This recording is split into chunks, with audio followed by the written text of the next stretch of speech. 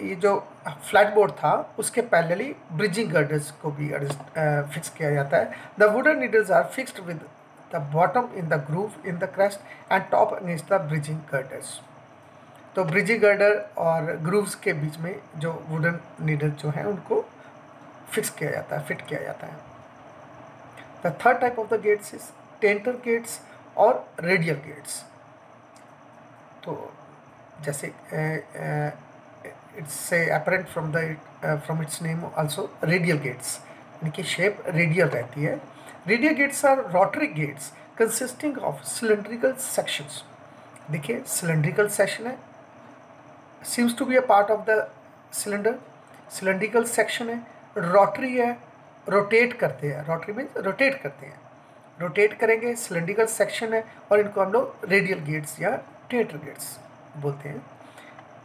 दे में rotate vertically और horizontally इनकी मूवमेंट जो है वर्टिकल हो सकती है या ऐसे हॉरिजेंटल हो सकती है, ये वर्टिकल मूवमेंट दिखा रहा है इसका। Tainter gates are a vertical design that rotates and allow water to pass underneath tainter gates जो है, वो वर्टिकल डिज़ाइन रहता है उनका, और उनके नीचे से पानी नीचे से निकलेगा। Low friction trunnion bearings bearings along with a face shape that balances hydrostatic forces allow this design to close under its own weight as a safety feature. Low friction trunnion trunnion क्या होता है ट्रिनियन जैसे कि एक तोप होती है जैसे तोप बारूद बारूद का गोला दागने वाली तोप जो उसका तो जो फेस होता है, जो बैरल होती है, जो बैरल व्हील्स के एक्सल्स के ऊपर जो रोटेट करती है अप एंड डाउन उस स्ट्रक्चर को, जिस स्ट्रक्चर पे रेस्ट करके बैरल अप एंड डाउन अपनी डायरेक्शन लेती है, उसको ट्रनियन बोलते हैं।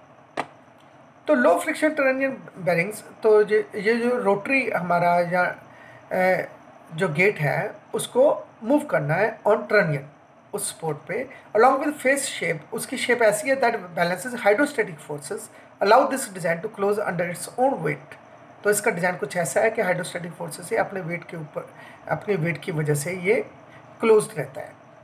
A curved plate is use to support water the curved plate is given adequate support by framework of steel sections ये जो कर्व प्लेट है, इसको जो सपोर्ट है, वो पीछे फ्रेमवर्क बनाया हुआ है स्टील सेक्शंस का।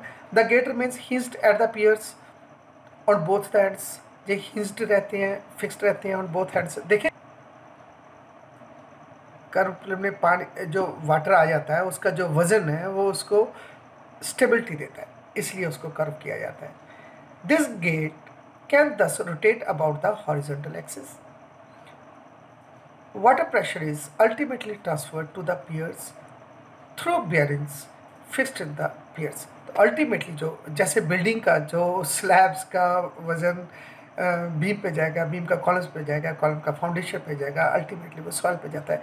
सिमिलरली यहाँ पे वाटर प्रेशर जो है वो अल्टीमेटली पियर हिंजेस पे जाएगा पियर्स पे जाएगा तो डाउन टू फाउंडेशन ऐसे। The gates are generally very heavy and can be lifted or lowered with the help of power driven winches only. तो गेट्स बहुत हैवी होते हैं क्योंकि इनको बहुत वज़न सपोर्ट करना होता है। इनको मैनुअली हम लोग नहीं हैंडल कर पाएँगे। तो दिस इनको क्लोज या ओपन करने के लिए विंचेस चाहिए होती हैं। विंचेस क्या होती हैं? जैसे आपने देखा होगा किसी चीज़ को लिफ्ट करने के लिए जो आ, आ, एक राउंड जो मैकेनिज़्म है, उसके ऊपर रोप को रोटेट किया जाता है।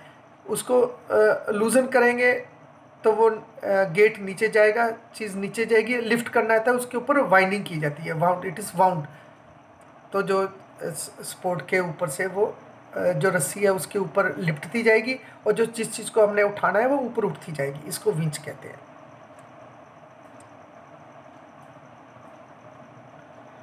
The fourth type of the spillway gate is USBR drum gate. Drum gates are hollow gates, sections that float on water. They are pinned to rotate upward or down.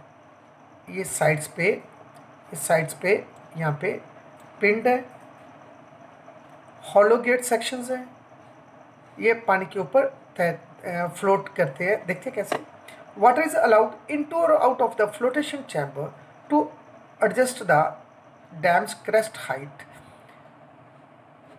जैसे ये float करते हैं, ये जैसे इसकी क्रेस्ट की, इसकी height कम या ज़्यादा हो जाती है, वही पीछे पानी की जो क्रेस्ट हाइट हो जाती है, उसकी स्टोरेज कैपेसिटी बन जाती है रिजर्वर की।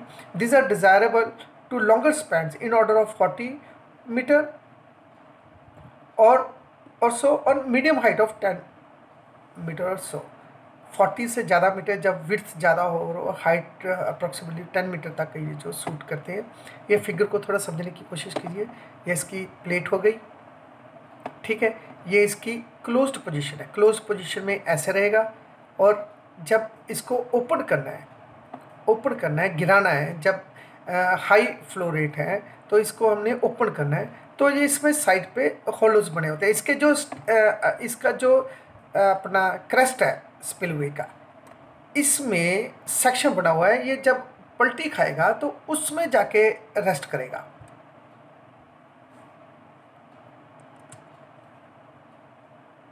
Let's try to understand the gate remains hoisted at the top of the crest of the spillway this gate when open that's when not in position, remains swung into a ditch formed at the crest of the spillway. जब ये open नहीं है sorry जब ये open है इन position नहीं है means closed position में नहीं है तो ये कहाँ पे स्वंग कर जाता है? उसमें जाके, कहाँ पे जाके टिकता है? जो क्रेस्ट के ऊपर एक डिच बनी हुई है डिच सॉर्ट ऑफ़ एक गड्ढा सा बना रहता है, उसमें जाके, ये उल्टी पोजीशन में जाके, उसमें जाके रेस्ट करता है तो जो क्रेस्ट के लेवल पे आ जाता है इसका लेवल तो जो पानी वाटर जो है हाई फ्लो स्टेट में ये उसमें से पास करता रहेगा ओवरफ्लो करता रहेगा। In open position drum of the gate it forms the crest of the spillway by framework supporting the skin plate remains in the ditch. तो कुछ और कहने की कोशिश कर रहे हैं, जो डिच में जब ये रेस्ट कर रहा है तो ये इसका अपर पोर्शन जो है, वो जो इसका स्टेम स्टेम का वो जैसे स्टेम को समतल होना था हॉरिजॉन्टल होना था तो अब ये उल्टी डायरेक्शन में आकर के जो ये क्या बोलेंगे इसको ड्रम है जो, वो उसका क्रस्ट का काम करता है। क्रस्ट के साथ में आके उसके साथ में से क्या बोलेंगे इसको अलाइन हो जाता है। The gates are put in close position with the help of power driven winches only same वैसे ही हम इनको भी मैनिपुलेट करने के लिए विंचेस चाहिए होंगी रिक्वायर्ड रहेंगे।